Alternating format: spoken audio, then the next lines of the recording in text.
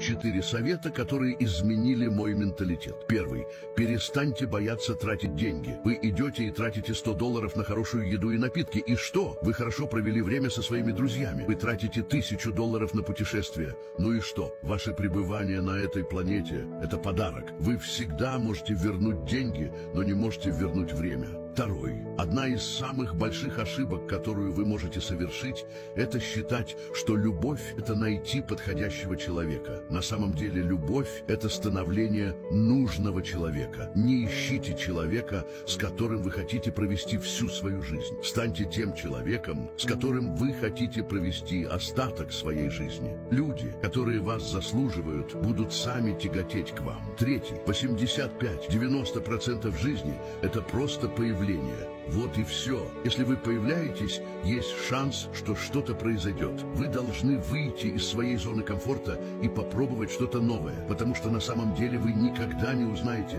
какие возможности вы упускаете, пока не выйдете и не сделаете это. И, наконец, четвертое.